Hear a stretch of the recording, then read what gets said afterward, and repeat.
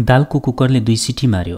हातमा चियाको ग्लास बोकेर म अर्को दुई सिटीको प्रतीक्षामा उभिएको थिएँ। पुसको सर्दीले देशको राजधानीलाई आफ्नो राजधानी बनाएको थियो। घामले छुट्टी लिएको केही दिन मात्र भएको थियो। यस्तो लाग्थ्यो दिन र रात सँगसँगै आएका छन् र आपसमा झगडिएका छन्।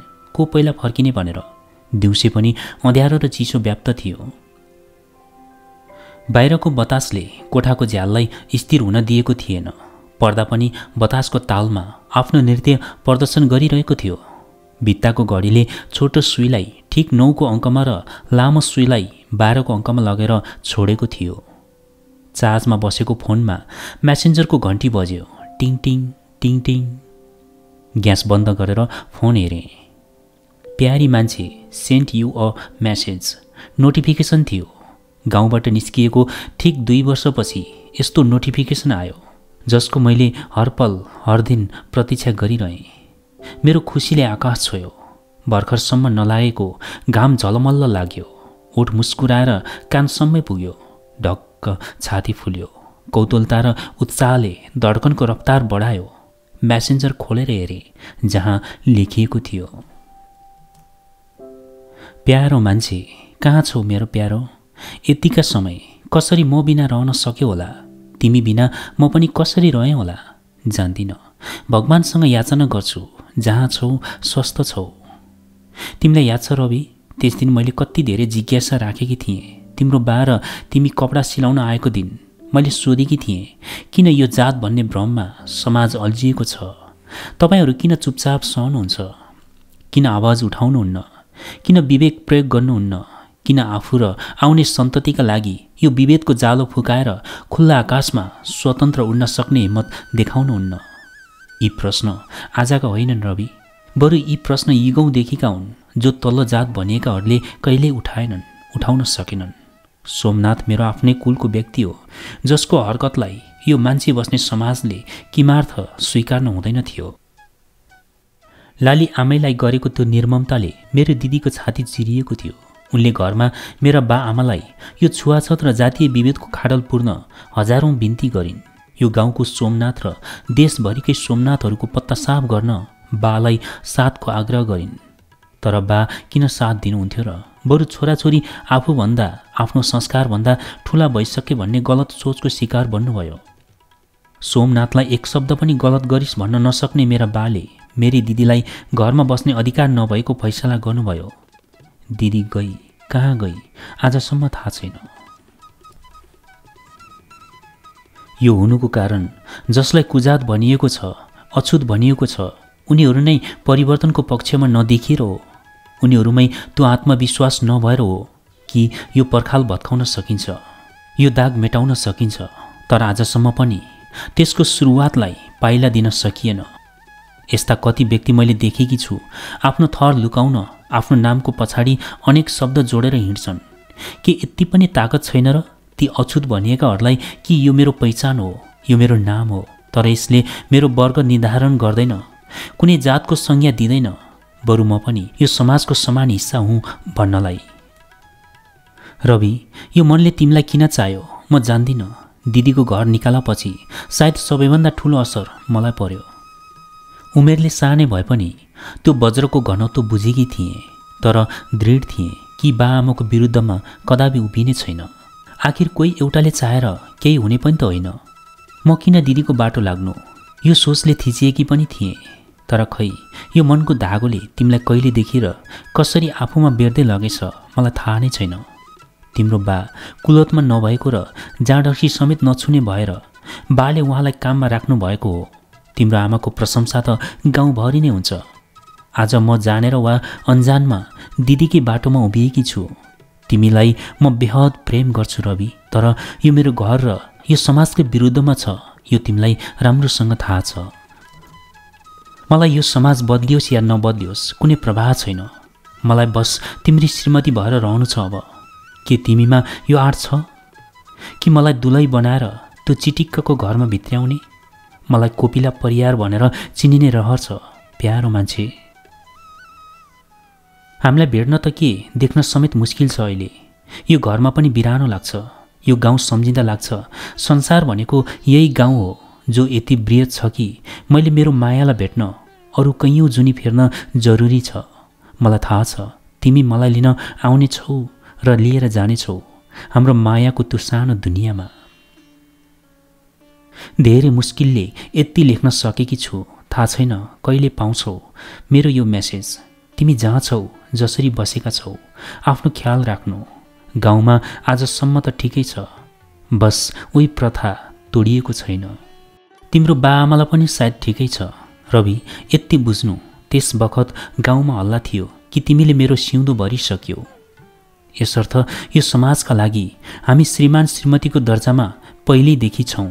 भलै आज म अरू कसैको हुन बाध्य भएकी छु। मेरो असमझदारीले कसलाई फरक पर्दो हो र तिमीलाई गाउँ निकाला गरेको करिब एक वर्ष पश्चात मलाई आँगन नाग्न दिइयो। म त्यही पिँढीमा बसेर तिमीलाई बगाइरहेँ सम्झनाका भेलहरूमा। म चाहन्थेँ यी आँसु बगेर तिमीसम्म पुगोस् र भनोस् हेर तिमीलाई खोज्दै म यहाँ आइपुगेँ। आँसु पनि निष्ठुरी बनिदियो। कहिले गालामा सुकेर बसिदियो कहिले सिरानीमा बिलाएर गयो। अचेल यो नुनिलो आँसुले। लाग्छ मेरो जीवनलाई झन्झन टर्रो बनाएको छ। मेरो दिनरात साँझ बिहान पूजा आरती घाम छाया र बर्सातमा तिमी छौ। भन न योभन्दा पर पनि अर्को जीवन छ होला र? जहाँ म तिमीलाई देख्न सकौँ अँगाल्न सकौँ। कल्पनाको घना जङ्गलबीच तिमीले मेरो शिरमा प्रेमको रातो धर्कोले म तिम्री हुँ भन्ने प्रमाण छोडेका छौ जो प्रमाण कसैले मेटाएको छ र आफ्नो अलग वास्तविक धर्को कोरिदिएको छ। कसैले नछोएको मेरो यो शरीर कल्पनाको कुनै बन्द कोठामा तिम्रो आलिङ्गनमा बेरिएको छ जसलाई कसैले यथार्थमा निर्धक्क चिमोटी रहेको छ। मेरो बिहा भएको आज तेस्रो दिन हो। म त्यही गाउँमा आएकी छु जहाँ हाम्रो प्रेम फुलेको थियो। यो फुल झरेर ओइलाउनु अगावै कतै अन्यत्र लगेर सारिदेऊ म पर्खिरहेको छु रवि।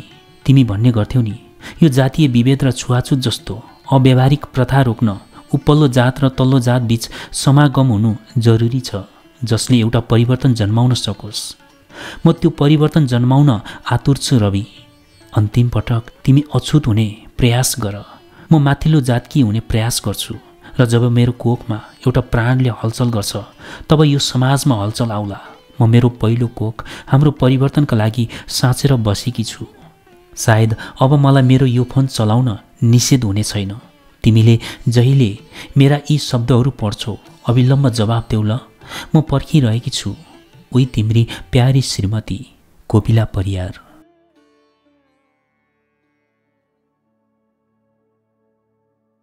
उमेरले एघार टेकेको हुँदो बासँगै कपडा सिलाउन आफूले कमाएका बिष्ट कहाँ जान थालेको थिएँ। मलाई सिलाउन आउँदैन थियो तर बालाई अन्य कुरामा मद्दत हुन्छ भन्ने हेतुले आमाले बासँगै पठाउनुहुन्थ्यो साथै त्यो दिनको खाजा पानीको पनि जोहो हुन्थ्यो। गरिबीले लोभी जो बनाउँछ। बा पनि यसलाई सिकाउनु पर्यो नत्र के गरी खाला? भनिरहनुहुन्थ्यो। त्यसैले साथ लिएर हिँड्न खोज्नुहुन्थ्यो। मलाई पनि स्कुल जानभन्दा बासँग हिँड्न मन पर्थ्यो। चाडबाडका समयमा त काम जति पनि हुन्थ्यो। त्यसो त हाम्रो कमाइ हुने बाटो सिलाइ बुनाइ नै त हो। वैशाखमा विद्यालयको नयाँ शैक्षिक सत्र लाग्दा होस् या तिज लाग्दा दसैँ आउँदा होस् या तिहार बा हाते मिसिन लिएर बिहानै जानुहुन्थ्यो र झमक्क परेपछि फर्किनुहुन्थ्यो। फर्किँदा बाका झोलामा मकै चामल रोटी आलु आदि हुन्थे। हाम्रो दैनिकी त्यही थियो त्यसरी नै गुजारा चल्थ्यो। भदौको पहिलो साता लोकनाथ पण्डितका सिलाउन जान मेला पर्यो। उनका चार सन्तान दुई छोरा दुई छोरी। छोराहरू बिहेबारी पश्चात आफ्नो आफ्नो हिसाबले गरी खाँदै थिए। जेठो तिलकनाथ सहरतिर थिए भने कान्छो चोकनाथ गाउँमै थिए। लोकनाथले तिज सङ्घारमै आइपुगेकाले अन्त मेला नदिएस माइला काम निकै छ भनेका रहेछन् बालाई। जोइ पोइ आए हुन्छ दुई रात बसेरै सक्नु भनी भनेका रहेछन्। तर आमाले घर छोड्न नमिल्ने भएकाले हामी बाउ छोरा जाने भयौँ। बाले मेसिनमा नाम्लो लगाउनु भयो। दुईवटा सिल्टेका थाल गिलास र झोला मैले भिरेँ। सामान्यत आफूले खाने थाल भाँडा बोक्नु पर्दैन थियो तर लोकनाथका आफैले लिएर जानु पर्थ्यो। नजिकै हुँदो त त्यो झन्झट पनि किन गरिन्थ्यो होला र? तर गाउँको शिरमा हाम्रो घर थियो फेदीमा लोकनाथको। खाएपछि धोएर सुकाएपछि अन्य जैसी कहाँ चल्थ्यो? उनै कहाँ मात्र चल्दैन थियो। त्यसो त उनी पनि जैसी हुन्। थर पण्डित भए पनि पूजापाठ तथा श्राद्धतिर हिँड्दैनथे। यद्यपि चिना बनाउने र हात हेराउनेको उनका आँगनमा भिड लाग्थ्यो। बाटो ठाडै ओह्रालो भएकाले बापछि म थिएँ।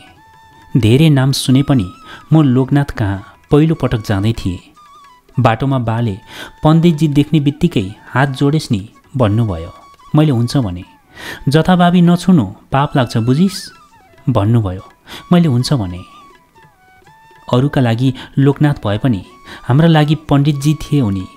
हुन पनि धेरैजसो मेला उनी कहाँ पर्थ्यो। हामी उनले कमाएको दर्जी थियौँ। हामीले कमाएको विष्ट थिए उनी। ज्याला भाग लिए पनि आखिर उनीको नुन खाएको भएर होला बा अलिक धेरै नै आधार गर्नुहुन्थ्यो। दोबाटोतिर या छेउका चिया दोकानमा देखिने अलि पाका बुढाहरूलाई बा हात जोड्दै हिँड्नुहुन्थ्यो। कोही कोही फिस्स दाँत देखाउने जाँगर चलाउँथे कोही नदेखे झैँ पनि गर्थे। मैले बालाई सोधेको थिएँ किन तपाईँलाई नमस्ते नगरेका? आमाले घरको मन्दिरमा दियो बाल्दा हात जोडे जस्तै हो बुझिस्? बाले बुझाउन खोज्नुभयो। मैले बुझिनँ तर ए भने। आमाले साँझमा मन्दिरको दियो बालेपछि म पनि आँखा चिम्लेर दुई हात जोड्थेँ। आमाले सिकाउनु भएको लक्ष्मीले बास गर्छिन् अरे। मलाई लाग्यो बा र आमाका लक्ष्मी अलग छन्। तिनका स्वभाव अलग छन् र अवतार पनि। पुग्न साथ पण्डितनीले चिया ल्याइन्। बाले गिलास थाप्नुभयो। दुध चिया खान रहर हुन्थ्यो मलाई। खुब मिठो लाग्यो। सक्खरको स्वाद अबेरसम्म मुखमा रहिरह्यो। तिजका कपडा हुन् पोहोर पनि गरेकै हो। जानेकै छौ मिलाएर गर भनेर कपडा पिँढीमा थुपारिदिन् पण्डितनीले। बा नापो लिएर कैँची चलाउन लाग्नुभयो। मैले मेसिनमा धागो लगाएँ। पहेँलो कुर्था रातो सलवार गलामा रातै सल जसलाई काँधबाट पिठ्यौँतर्फ झारिएको रातो धागोले बाटिएको लामो र कालो कपाल छातीबाट झुन्डिएको कम्मरमा सेतो र हरियो बुट्टा भरिएको दुपट्टा दुपट्टाको माथि तामाको गाग्रो अड्याएर छड्के कम्मर लगाउँदै ऊ आँगनमा आइपुगी आमा गाग्रो कहाँ राखौँ? चिच्याई। पिँढीमा राख्दै भित्रबाट मसिनो तर स्पष्ट आवाज आयो। गाग्रो राखेर रक्षानमा गई। बायाँ हातले सलवार माथि सारी। दाहिनीले जग उठाई। ड्रमबाट जगभरि पानी निकालेर खुट्टामा घोट्याई। केही सेकेन्डका लागि कपालको धागो हेरी। कपाल ढाड पछाडि हुत्याई घाँटीबाट सल तानेर छातीमा मिलाई। कम्मरको दुपट्टा खोलेर मुख पुस्दै तुलसीको मठमा गई। बाबरीको एउटा टुप्पो भाँचेर त्यसको सुगन्ध लिएर तालुको चिम्टीमा उनिदिएपछि मात्रै मलाई हेर्न भ्याई। वा भनौँ देख्न भ्याई। हाम्रा आँखा हलुका जुधे तर भाव शून्यताले। मलाई किन्चित असहज महसुस भयो। अनायासै शिर घोप्टियो। शिर उठ्यो। दुपट्टालाई आँगनको छेउमा टाँगिएको तारमा जुन्याई र एक अङ्गालो दाउरा च्यापेर घरभित्र छिरी। केही बेरमा लोकनाथ झिल्किए। गोला गोला आँखाले मतिर नजर फ्याँक्दै छोरो त मलखातको मुला चाहिँ हलक्कै बढेछ माइला भनेर जुङ्गा हल्लिने गरी हाँसे। आफूलाई मुला भनेकोमा झनक्क भयो तर फिस्स गरेँ। हजुर मावलीतिर गयो यो। बा हात जोड्दै बोल्नुभयो मैले भने जोडिनँ। कतिमा पढ्छौ बाबु? मेरा लागि प्रश्न थियो। पाँच क्लास कैँची खेलाउँदै भने। ए हाम्रो नानी सर प्रश्न लिएर लोकनाथ छेउमा उभिए। जवाफ थाहा थिएन। तिमी पनि प्रथम हुन्छौ कि? यो प्रश्न सुन्नसाथ मैले बातिर हेरेँ। लाज लाग्यो। पढ्न ध्यानै दिँदैन हजुर। पास अङ्कसम्म ल्याउँछ। बाले मेरो स्तर बताइदिनु भयो। लोकनाथ बोलेनन्। पढन्ते छोरीका बा। म लद्दुका अगाडि घमण्डको खोकी खोक्दै भित्र छिरेँ।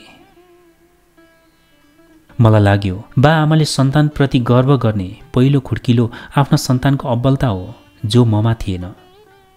सोचेँ भोलिदेखि नबिराई स्कुल जान्छु। पढ्छु प्रथम हुन्छु। खाना खान ठिक पर्नुहोस् रे आमाले भन्नुभयो खबर ल्याई उसैले हात धुन पानी पनि उसैले ठिक गरिदिए थाल लिएर हामी पिँढीमै बस्यौँ आलु बोडी र दालसँग खाना खुब मिठो थियो। मकैको भात खान बानी परे पनि चामलको भातले बेग्लै स्वाद दियो। खाइसकेर काममा लाग्यौँ। आकाशे निलो सर्ट गाडा निलो स्कर्ट जो घुँडा छोपौँ कि नछोपौँको दुविधामा देखिन्थ्यो। कोरिएको कपाल बाटेर रातो सेतो रिबनले बाँधेकी र अघिल्तिर झारेकी कालो पालिस गरिएको जुत्ता र मोजा। सेतो मोजा कालो लेगिन्समा खुबै म्याचिङ गराएकी कानमा साना साना टप र नाकमा नथे। आँखामुनि मसिनो धरको गाजल र दुई आँखी बाउको ठिक्क बिचमा सानो कालो टिको। ओठमा सायद वाटर कलर ग्लस र त्यही ओठमा मिठो आँसु बोकेर ढोकाबाट निस्की। सानो मिक्की माउस इस्माइली र सानो नेपालको झन्डा त्यस्तै अरू पनि थुप्रै के के झुन्ड्याइएको झोला। हातमा बोकेर म नजिक आएर बाला हेर्दै अङ्कल यो फित्ता कहिले नछिन्ने बनाउन मिल्छ? झोलाको फित्ता हातमा देखाउँदै सोधी। हेर्दै त केटा बाले मलाई अराउनु भयो। मैले झोला लिन हात बढाएँ उसले आँखामा हेरी आँखा जुधे। झोला सोचे भन्दा गहकिलो थियो हातबाट झऱ्यो। उसले खितितित्त गरेर हाँसी भित्र बुक छ के? खाली ब्याग होइन नि? सम्झाइदिए। मैले ओठ मात्र चलाएर सरी भने। उसले आँखी भाउ निधारतिर झट्काएर इसारामै इट्स अल राइट भने बाले देख्नुहोला भन्ने डरले म रातो भएँ। पहिलो देखभेटमै इसारामा कुरा मलाई डर लाग्नु स्वाभाविक थिएन र? मैले फितालाई हातैले दोहोरो रफी गरिदिएँ। उसले पनि अघि जस्तै ओठलाई गोलो पार्दै थ्याङ्क यू भने रातो अनुहारमै म हल्का हाँसेँ। आमा म गएँ है। चिच्याई। पण्डितनीको आवाज आएन। उसले कुरिन पनि। मैले हेरिरहेँ। ऊ पर पुगी। बाले सियोको टुप्पोले पैँतालामा घोचिदिनु भयो र भन्नुभयो काम गर केटा काम। मेरो मनको सियोले उसलाई दिनभरि कता कता उनिरह्यो। दसैँ बिदा हुनुभन्दा केही दिन अगाडिबाट स्कुलमा सांस्कृतिक कार्यक्रम हुन्थ्यो। मेरो स्कुलमा त त्यस्तो रौनक कहाँबाट होस्? निमामीसम्म मात्र पढाइ हुन्थ्यो। त्यसमाथि विद्यार्थी सङ्ख्या अति कम थियो। थोरैमा पनि हामी दलितकै बाहुल्यता थियो। हुने खानेले टाढाको बोर्डिङ स्कुलमा भर्ना गराउँथे आफ्ना छोराछोरीलाई। कोही कोही लोकनाथ पण्डितको घरभन्दा पनि टाढा पर्ने सरकारी स्कुलमा पढाउँथे जहाँ माविसम्मको कक्षा थियो। त्यसो त मावि पढ्न चाहनेहरूले त्यही स्कुल जानु पर्थ्यो। नजिक अन्य स्कुल नभएकाले विकल्प पनि थिएन। बसमा चढेर बोर्डिङ स्कुल जाने मेरो इच्छा थिएन बाको हैसियत पनि थिएन। बोर्डिङ पढ्नेहरू अङ्ग्रेजी बोल्दै हिँड्थे। तिनीहरू मलाई अमेरिकाने जस्तै लाग्थ्यो। स्कुलमा कहिलेकाहीँ अमेरिकाने आउँथे। हामीलाई किताब कापी थमाइदिन्थे। नेपाली पढाउने गोकुल सर सबैलाई एउटा लाइनमा मिलाउँथे। अङ्ग्रेजी पढाउने एमपी सर भने हमेसा अमेरिकानेसँगै फतफताइरहेका देखिन्थे। सबैको फोटो खिचेर जान्थे ती अमेरिकाने। केही महिना हराउँथे र फेरि आउँथे। कापी पाएको दिन बा आमा दङ्ग पर्नुहुन्थ्यो। मलाई भने सधैँ कपी मात्रै लिनु परेकाले खासै खुसी लाग्दैन थियो। हामीलाई चिनिया वा जापानी जो आए पनि अमेरिकाने नै लाग्थ्यो। नरेले कताबाट खैरे भन्न सिकेछ। एक दिन उनीहरू फोटो खिचेर पर पुगिसकेपछि नरेले ओ खैरे भनिदियो। मलाई पनि भन्न लगायो। मैले पनि ओ खैरे नि भने खै कसले पोल लगाइदिएछ? हेड सरले कन्सिरीका रौँ उखेलेर हत्केलामा राखिदिए र भने गनेर अफिसमा आउनु। नरेले पिलपिल गर्यो। मलाई पनि रौँ रौँ लाग्यो तर आँसु खसेन। मैले सातवटा गने नरेले एघारवटा गनेछ। बिचराको कन्सिरी रातो थियो मेरो पनि उल्का टट्याएको थियो। पाहुनालाई खैरे भन्ने यही सिकाएको हो तिमीहरूलाई यहाँ? अबबाट भन्ने कि नभन्ने? यस्तै के के सोधेर सातो लिएका थिए हेडसरले। नरेले बाहिर निस्किएपछि अब त झन् भन्छु खैरे डैरे मैले मात्रै सुन्ने गरी भनेको थियो। म त अब नभन्ने कस्तो कन्सर्ट दुख्यो मैले भनेको थिएँ। नरे मेरो काकाको छोरो उमेरले म सर तर डल्ले। नरेको अनुहार गोलो थियो गाला बेलुन जस्तै। त्यसैले नरेलाई अरू सबैले फर्सी भनेर नाम काट्थे। म भने नरे नै भन्थे। काका काकीसँग बा आमाको राम्रो सम्बन्ध थिएन। पटक पटक काकी बाज्न आइपुग्थिन्। म आमालाई सोध्थेँ काकी किन कराउँछिन् आमा? उसका बिस्टा हामीले कमायौँ रे। सुनिनस् आमा उल्टो मलाई हप्काउनुहुन्थ्यो। ज्याला गरी खानेलाई जसका मेला पऱ्यो उसैका गर्ने त होला। कत्रो रिस शत्रु त घरेका छन्। आमा फतफताउनुहुन्थ्यो। म चुपचाप कतै गइदिन्थेँ। मसँग बोल्ने शब्द पनि केही हुँदैन थियो मावि स्कुलमा दसैँ कार्यक्रम हुने भयो। आफू पढ्ने स्कुलमा खास केही नहुने भएकाले हामी हरेक साल तलको मावि स्कुलमा जाने गर्थ्यौँ। म नरे हरि र अरू अरू पनि सँगै जाने कुरा भयो। सबै एकैसाथ झऱ्यौँ।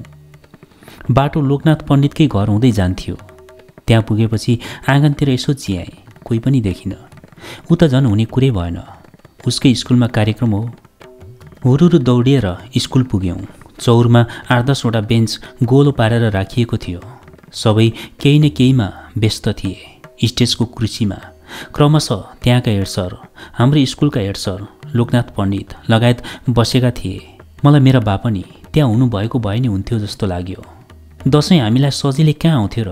बा कतै बिष्टका पिँढीमा बसेर मेसिन घुमाउँदै हुनुहुन्थ्यो होला। मलाई एक्कासी बाको माया लागेर आयो। स्पिकरको आवाजले मेरो ध्यान भङ्ग गरिदियो र त्यहीँको परिवेशमा मुग्ध गराइदियो।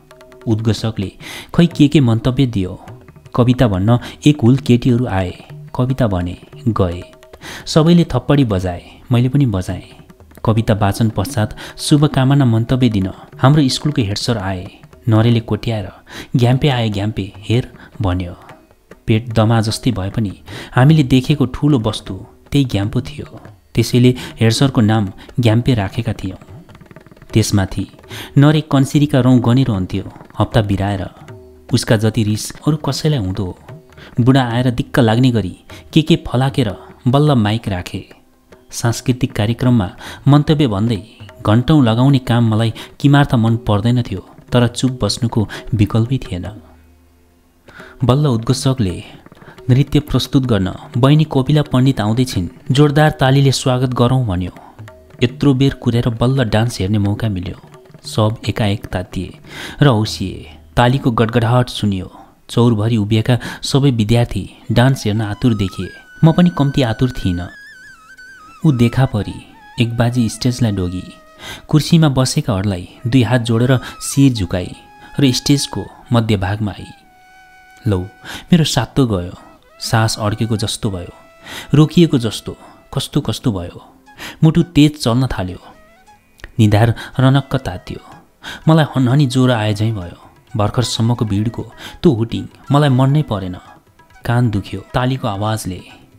पहिले सबैभन्दा अगाडिको बेन्च ओगटेर नबसेकोमा ग्लानी भयो। कस्तो चुकचुक लाग्यो। स्टेजबाट दस मिटर जतिको दूरी पनि मलाई कोसौँ टाढा जस्तो लाग्यो। खुट्टा कामे जस्ता भए। मेरा आँखा अन्त कतै जान सकेनन् वा जान चाहेनन्। जाउन पनि कसरी? स्टेजको मध्यभागमा एउटा खुट्टा खुम्च्याएर टुक्रुक बसेकी थिए ऊ अर्थात् लोकनाथ पण्डितकी छोरी। मलाई उसको नाम थाहा हुँदो हो त। भर्खर मलाई जे जे भयो त्यो हुने थिएन। उद्घोषकले कोपिला पण्डित भनेकै थियो नि। मेरो ध्यान कुनै कथा चढ्न गएछ त्यति बेला। कम्तीमा पण्डित थरले मलाई आकर्षित गर्दो हो। म लक काट्दो हुँ। कतै लोकनाथ पण्डितकै छोरी नै त होइन भनेर। त्यो मौकाले डाँडो काटेपछि आएको शुद्धिको के अर्थ? अलि पहिला त्यो झोलाको फित्ता रफी गरेपछि पनि एकचोटि मेला परेको थियो। त्यो दिन झन् घरमा ऊ मात्रै थिए बालाई र मलाई खाना उसैले त बनाएर खुवाएकी थिए शनिबारको दिन थियो। ऊ नुहाइ धुवाई गरेर घाममा बसेकी थिए कपाल सुकाएकी थिए बारीबाट एउटा काँक्रो ल्याएर काटेर खुवाएकी थिए मैले उसलाई त्यो दिन दित मर्ने गरी हेरेको थिएँ। बाको आँखा छलेर उसलाई चोरी चोरी हेरेको उसले पनि त थाहा पाएकी थिए नत्र किन आँखा जुत्दा छोटो मुस्कान दिन्थे। कम्मरमा दुपट्टा बेर्ने त बानी नै रहेछ। त्यो दिन पनि त उसै गरी दुपट्टा बाँधेकी थिए। नुहाएर आएपछि त झन् गोरी देखिएकी थिए। केही नदलिएको उसको अनुहार नहाँसेको बेला भक्तपुरकी कुमारीको जस्तै देखिन्थ्यो शान्त र भावहीन। जब पातलो ओठ अलिकति मात्र भए पनि चलाउँथे फुल फुले लाग्थ्यो। ऊ हर तरहले राम्री देखिएकी थिए त्यो दिन। खाजामा रोटी बनाएकी थिए रोटी गोला थिएनन्। एकातिर चेप्टो परेको। रोटी हेर्दै बाले नानीको रोटीले धन्न ताउ छोडेर भागेन छ भन्नुभएको थियो। ऊ थोरै लजाएकी थिए तर हामीसँगै हाँसेकी थिए धनिया र गोलभेडाको अचार परले पिरो पारेकी थिए बालाई खुब मिठो लागेको थियो। तर पिरोले मेरो मुख चलेको थियो। म रातो हुँदै गाँसे पछि पानी पिउँदै थिएँ। उसले त्यो देख्न सकिन सायद। एक गिलास मै ल्याएर दिए त्यसपछि मेरो हात सेलाएको थियो। उसको दया नै सही मनमा अर्कै भावना टुसाएको थियो।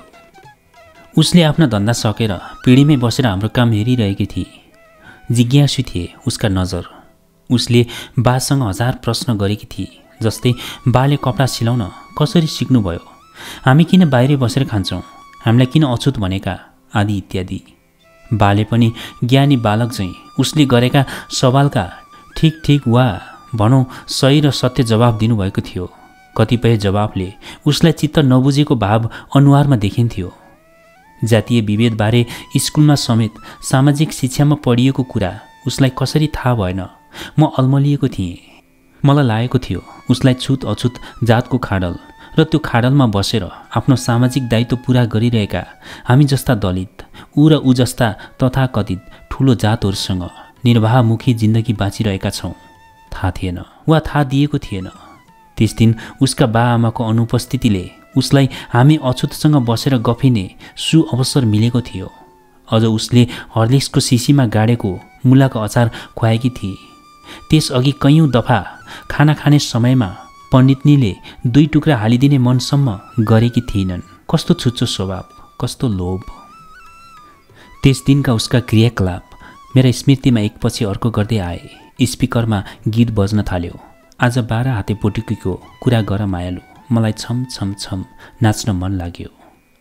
मेरा आँखा टक्क उसमा अडिए स्थिर। उसले आफ्नो कम्मर यसरी नचाहेकी थिए कि मानौ ऊ रबरले बनेकी होस्।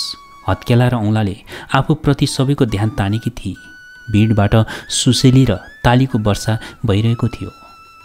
म उसका अनुहारमा देखिएका भावहरू हेरेर असिन पसिन हुँदै थिएँ। सिनेमामा नायकसँग हाँस्दै हाँस्दै नाच्ने नायिकाभन्दा कुनै पनि कोणबाट उसमा कमी थिएन। घरिघरि मलाई नै हेरेर नाच्दै छे जस्तो भान भइरह्यो। ऊ गीतका तालसँगै सम्पूर्ण स्टेज घुम्थे। आँखाले केही भनिरहेछन् जस्तो लाग्थ्यो। माहौल बेसरी तातिएको थियो। मलाई किन किन ईर्ष्या लाग्यो। यति धेरै मान्छेले उसको नाच हेरेकोमा मलाई लाज लाग्यो। मैले मात्र हेर्न पाएको भए पनि हुने नि जस्तो लाग्यो। नरे पछाडिबाट उफ्री उफ्री सुसिली रहेको थियो। मलाई कति पनि मन परेन। रिस पनि उठ्यो। नसुसल भने पनि तर आवाज म आफैले पनि सुनिनँ। नरेले के सुनोस्?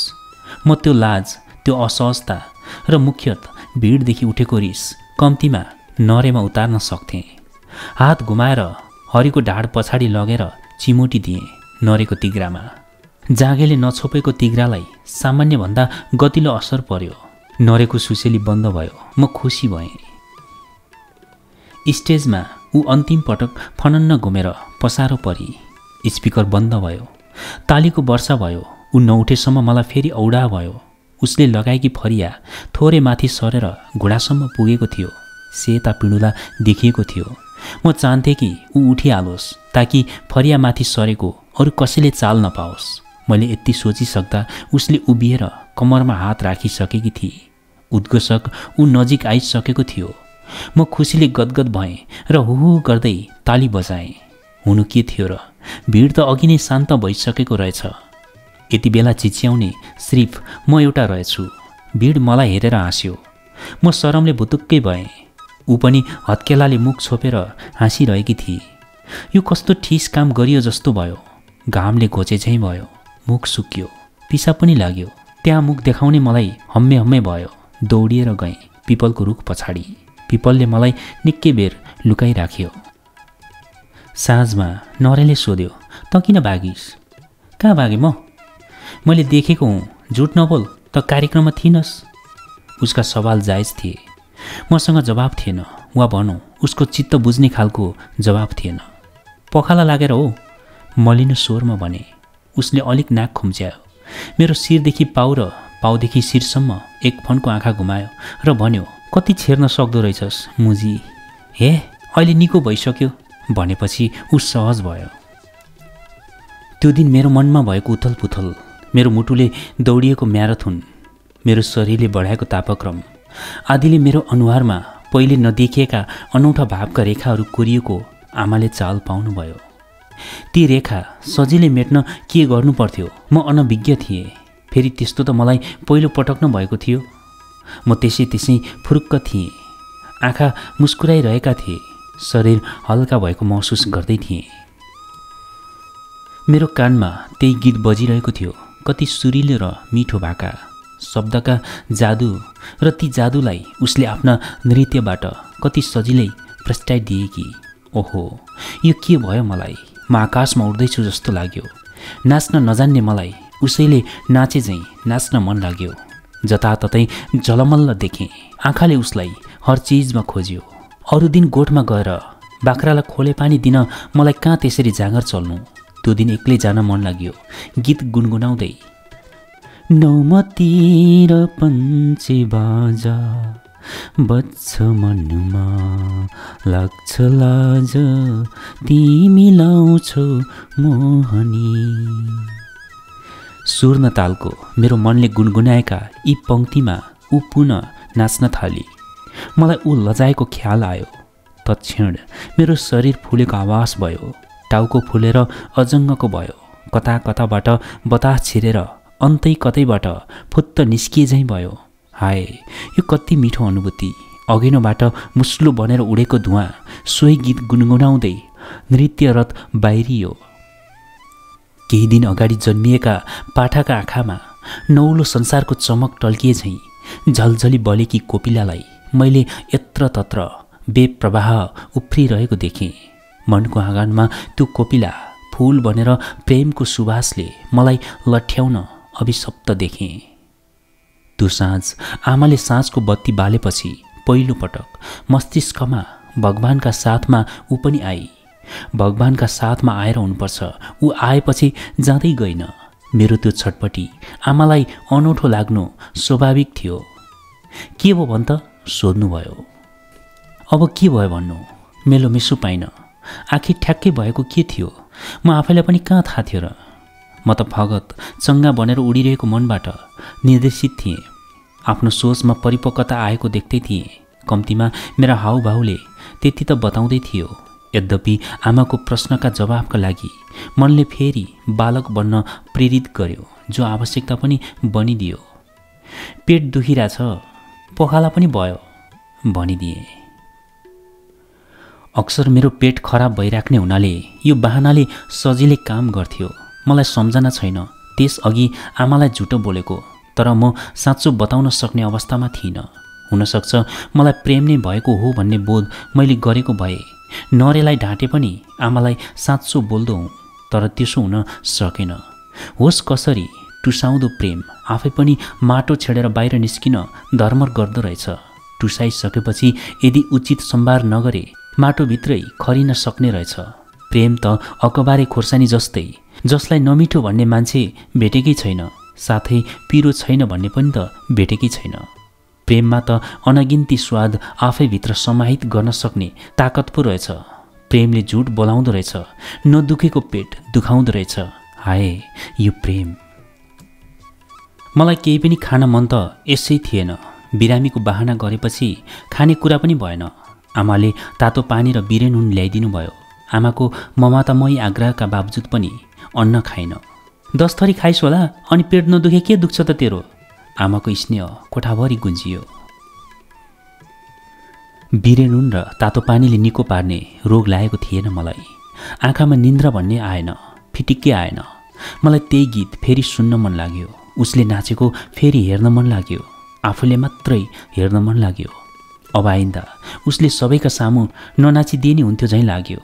मनमा के के कुरा खेलेर गए पत्तो पनि भएन। जे जे हुँदै थियो हतारमा हुँदै थियो गतिशील थियो।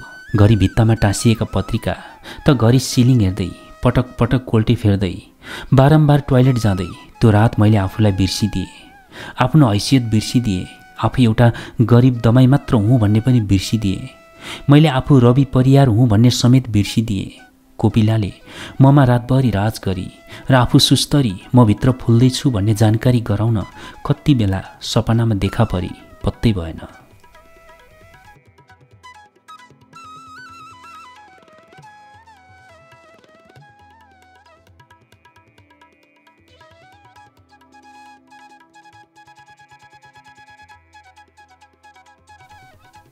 बिहानै आमाको कचकचले बिउजिए वा बिउजिएपछि कचकच सुने कुन्नी। आमा कुखुराको खोरबाट फतफताउँदै हुनुहुन्थ्यो। चाड आइसक्यो। बाउसँगै मेला गए नि चारमा नन भित्रिँदो घरा यत्रो भएको लाठे घाम दैला ठेला आइपुग्दासम्म पसारिन सरम लाग्न पर्छै पर्दैन। मलाई लाग्यो आज मेरो खैरियत छैन। घाम झलमल्ल लागिसकेछ। साँच्चै म अबेरोसम्म मस्त निधाइछु। अब आमालाई फगाउनु कसरी? साँच्चै पेट दुखेको हुँदो त। उल्टै गुर्की देखाउँदो तर बिना कारण। त्यसो गर्न मेरो इमानले दिएन। त्यो संस्कार पाएको पनि थिइनँ लुसुक्क आमा भएतिरै गएँ। मलाई देख्नुभयो तर बोल्नु भएन। खुबै भलादमी पाराले सोधेँ माताश्री केही बोली बक्सँदै होइसिन्थ्यो कि? आमाले ठुला आँखाले हेर्नुभयो माफ गरी बक्सियोस् श्रवण शक्तिमा कमजोरी आएछ। हुकुम बक्सियोस् सेवामा हाजिर छु। डुङका छानामुनि जन्मिएर राजाका भाषा बोल्छस्? आमाले हाँस्दै भन्नुभयो। आमाले हाँसिदिँदा मेरो संसारै उज्यालो हुन्थ्यो। जहाँ जन्मिए पनि आफ्नो स्थितिमा हामी पनि राजा नै हौँ। हाम्रो आवश्यकता थोरै छन्। थोरैमा धेरै रमाउन सक्छौँ हामी। जे छैन त्यसको वास्तवमै जरुरत कहिल्यै परेन। मिठो खाना र एक सरो फेराफेर लगाउन नै दुःख गर्न पर्ने हामीलाई त्योभन्दा परको चाहना राख्न जरुरी पनि थिएन। किनकि थाहा थियो त्यो पुरा हुन सक्दैन। सबै रहर कहाँ पुरा हुन्छन् र आमा रिसाउँदा रिसाउँदै हाँसिदिनुहुन्थ्यो कुखुरालाई दाना दिएर मैले बाख्रा छोडिदिएँ। आमाले पिँढी लिप्नुभयो। मेरो सानो घर चिटिक्क देखियो। आमालाई फोहोर देख्नु हुँदैन थियो। म पनि ध्यान दिन्थेँ। हाम्रो घर सधैँ सफा रहन्थ्यो। धेरै जसो गाउँलेलाई आमा दमिनी होइन जस्तै लाग्छ रे। यो दमाईको जात फोहोरी भए पनि माइली दमिनी कति सुग्घर सफा गर्छे भन्छन् रे। खै आमाले गर्ने घरको सफाई भगवान्प्रतिको आस्था मिठो वचन। सहयोगी मनले दमिनी हुनबाट रोकेन। अछुतको पर्खाल भत्काएर मान्छेको जात हो अरू न कुनै जात र न कुनै वर्ग भन्न सकेन। जी हजुरी नगरी हिँड्न पाउने अधिकार फर्काउन सकेन। काम सकेर म हातमुख धुन धारामा गएँ। पानी भर्नेहरूको भिड थियो। सबै नहिँडेसम्म कहाँ छिर्न पाइन्थ्यो र यत्तिकै फर्किएँ। फेरि धारामा गइस्? कति भन्नु? बिहान चोखो पानी थाप्नेको लर्को हुन्छ। नजा भनेर। भनेको मान्न छोरा। आमाले दिक्क मान्दै भन्नुभयो मलाई धारामै गएर हातमुख धुन नुहाउन पानीसँग खेल्न मन लाग्थ्यो। ढुङ्गे धारामा हेलिनुको मजा घरमा जगले पानी खन्याउनुमा कहाँ थियो र? तर मैले जात नै त्यही पाएको छु जो निर्धक्क धारा पँधेरामासम्म जान पाउँदैन। यो कस्तो विडम्बना यो सब किन र केका खातिर? यो निषेधको अव्यवस्थाले आखिर फाइदा कसलाई होला? सार्वजनिक स्थानमा समेत समान सहभागिताका लागि लड्नुपर्ने र त्यसले दिने आत्मसम्मानको चोट हामी अछुत भनिएका बाहेक अरूले के बुझ्लान्? बा आमालाई आफ्नो जातका नाममा पाइएको उपहासको बानी परेको हुनसक्छ। वा त्यसको प्रतिकारपछि निस्कन सक्ने परिणामको बोध भएको हुनसक्छ। त्यसैले यथास्थितिलाई चुपचाप स्वीकार्नु भएको हुनसक्छ। तर मलाई सबै अवस्थामा यो स्वीकार्न कठिन हुन्थ्यो। विशेष गरी धारा पँधेरा र मठ मन्दिरमा के जात के वर्ण के वर्ग एउटै समाजमा बस्ने सबैलाई समान हक छैन। ती स्थानमा उपस्थित हुन र उपयोग गर्न। म मनमा नै भनिरहन्थेँ मलाई दलित भन दमाई भन डुम भन अझ दरिद्री भन भलै वचनका प्रहार धारिला र चोटिला हुन् म सौला तर मलाई अछुत नभन। मलाई निषेध नगर। म सँगै बसेर खान नहिस्काऊ।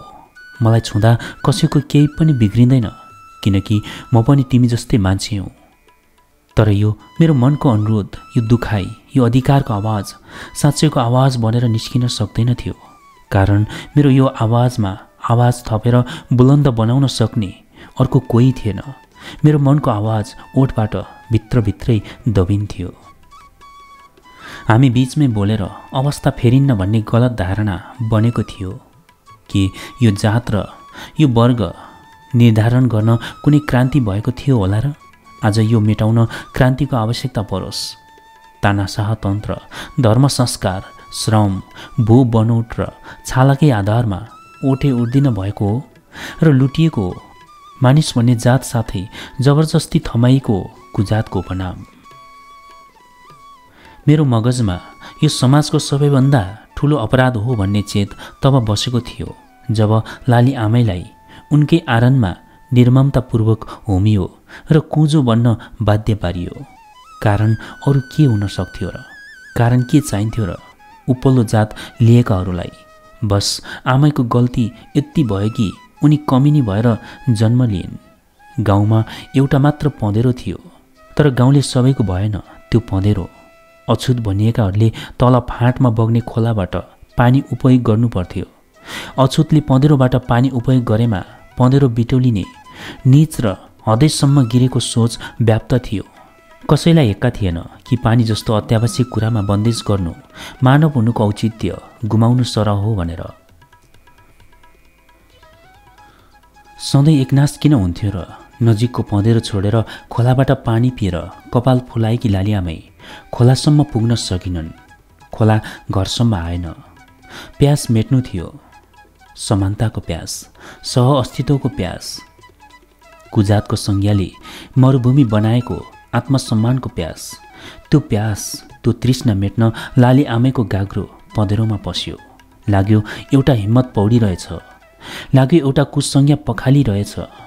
लाग्यो युगौँदेखि गाडिएर बसेको कुसोच र कुसंस्कार पनि थोपा थोपा बनेर रक्षानबाट बगेर विलिन भइरहेछ। लाग्यो गाग्रोले मानव त उभ्याएर ल्यायो एकता भरेर ल्यायो।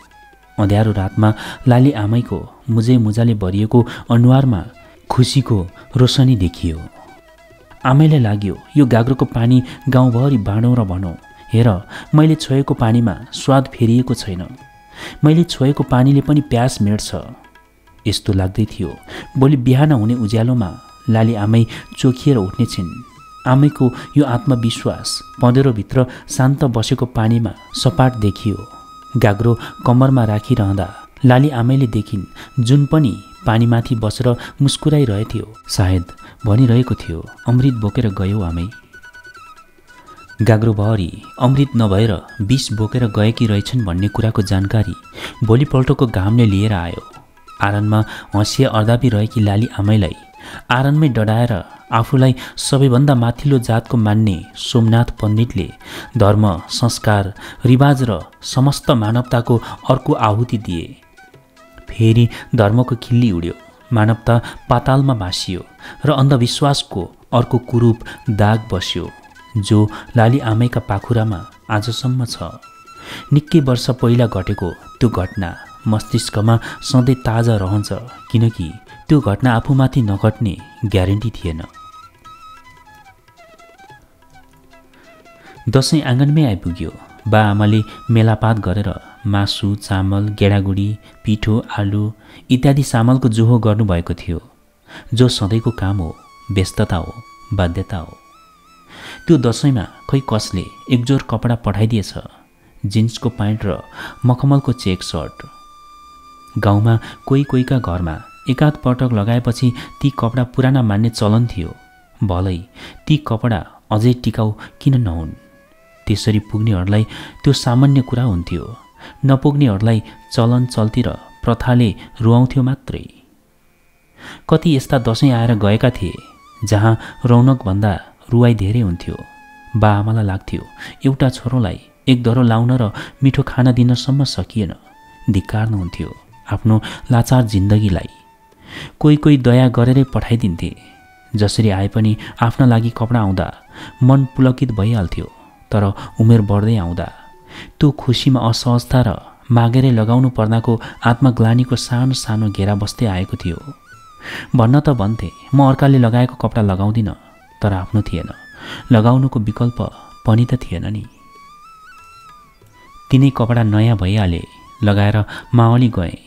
अरू त खास के हुनु थियो र? आखिर मावली पनि त उस्तै चपेटामा हुन्थे। खाना लाउनकै दौदौ पर्थ्यो। यद्यपि दसैँको दक्षिणाको भने आश रहन्थ्यो पाइन्थ्यो पनि।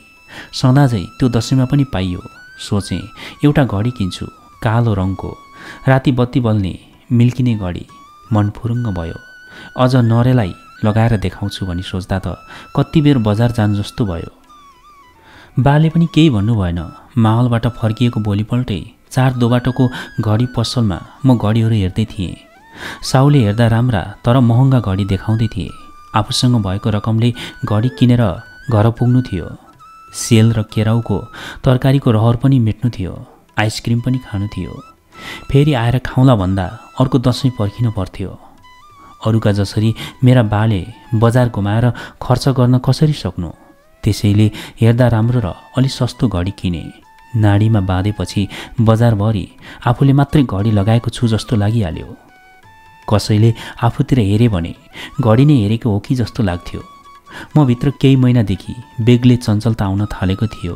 एकैछिनमा फुरुक्क पर्नु एकैछिनमा अकारण दुखी हुनु झनक्क रिसाउनु फेरि सम्हालिनु कपाल बारम्बार मिलाउन मन लाग्नु माया प्रेमका गीत सुन्नु आदि आदि स्वत हुँदै थिए। मलाई लाग्दै थियो म भित्रको त्यो फुच्चे रवि त्यो बालक बिस्तारै छुट्दै छुट्दै गइरहेछ। घडी लगाएपछि झन् भुइँमा खुट्टा अडिएन। उफ्रँदै हिँड्न मन लाग्यो तर गर्न सकिनँ। कसैले सोधे पनि हुन्थ्यो नि घडी पो लगाएको भनेर कसैले सोधेन। यत्तिकैमा कोपिलालाई सम्झेँ ओहो उसलाई सुनाउन पाए कति खुसी हुँदियो हुन त उसको नाडीमा मैले पहिले घडी देखिसकेको थिएँ। सायद मेरो यो खुसीमा खुसी भएर साथ देली भन्ने धमिलो इच्छाले औसिए लगत्तै त्यसले अर्को बेचैनी बढायो उनलाई भेट्ने हतारो बढायो। फुटपाथमा हिँड्दै थिएँ। दसैँको अन्तिम चहलपहल छिटपुट देखिन सकिन्थ्यो। धुवा उडाउँदै बजार नै थर्किने गरी दौडिएका बाइक हेरेर लाग्यो यो जुनीमा त चढ्न सम्भव छैन।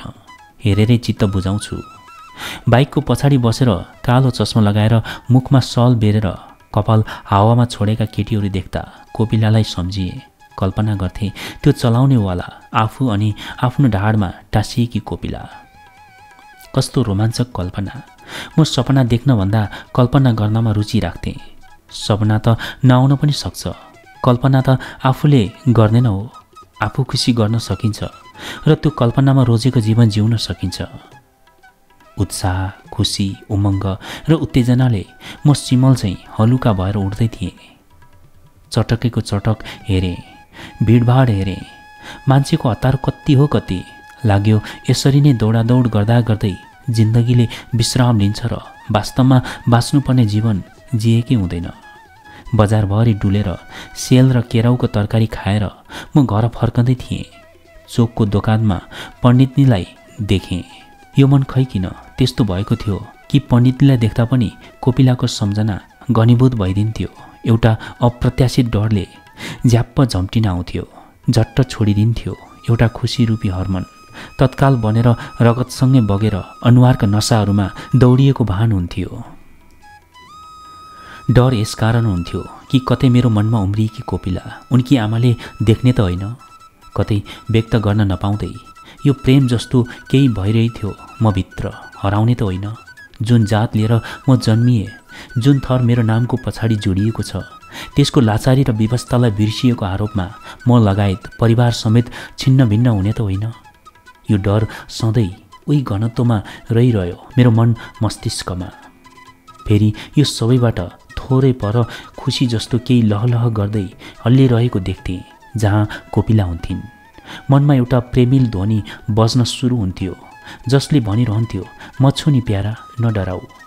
त्यो आवाज नै पर्याप्त थियो। तमाम छेकबार र तगाराहरूलाई पन्छाउँदै सारा दुनियाँसँग युद्ध लड्न। त्यसैले मलाई प्रेमको शक्तिमा कता कता विश्वास लाग्न थालेको थियो जसले मलाई हिम्मत दिन थालेको थियो। आफूलाई बिर्सन सक्ने हिम्मत जातको विभेदकारी जङ्गलमा आगो लगाउन सक्ने हिम्मत निषेध र निस्तेजको समाजमा उपस्थितिको हिम्मत। मनले गलत हुँदैछ भनेर कता कता चिमोट्न थालेपछि म चुपचाप अघि बढिरहेँ। हुने खानेहरूको लागि दसैँ अर्को साल पनि उही उमङ्ग बोकेर आउने बाचासहित विदा भयो। हाम्रो लागि त उही। व्यवस्था रहर खाँचो बाध्यता आँसु आदि इत्यादि लिएर आउनु नै थियो आइहाल्थ्यो तर मेरो मनले त्यसको खास चिन्ता राखेन। स्कुल सुरु हुनसाथ मलाई कोपिलालाई देख्न हतार हुन्थ्यो। देखिरहँ जस्तो हेरिरहँ जस्तो केही नबोली मुस्कुराइरहँ जस्तो आँखा आँखाले पल पल कुरा गरून् जस्तो। कस्तो कस्तो? त्यस्तो हुन थाल्यो। बालाई भन्ने हिम्मत आएन। आमालाई भने आमा म त तलको स्कुलमा पढ्ने। किन? यहाँ के भयो? आमाले भन्नुभयो केही होइन। मलाई तलै गएर राम्रोसँग पढ्न मन लाएर। नाटक नगरै छोरो पढ्नेले जाने राम्रो पढ्छ। आमाले भन्नुभयो नाइ के? म जाने हो। बाला भन्दिनँ मेरो आग्रह थियो। ठुलो कक्षा पढ्न जानु परिहाल्छ। अहिले के को जिद्दी र? आमाले फेरि भन्नुभयो कसै गरी कुरो मिलेन। आफ्नो मनको हाल आमाले पनि नबुझेकोमा रिस उठ्यो।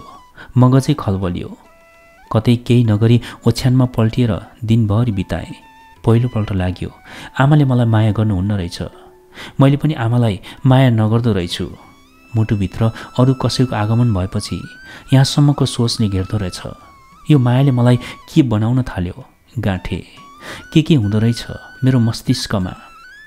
यस्तो त म कहिल्यै थिइनँ। के प्रेमले यो हदसम्म परिवर्तन गराउँछ र मान्छेलाई? म यही कुरामा घरि खुसी हुने घरि चिन्तित त घरि सोच शून्यताले घेरिएँ।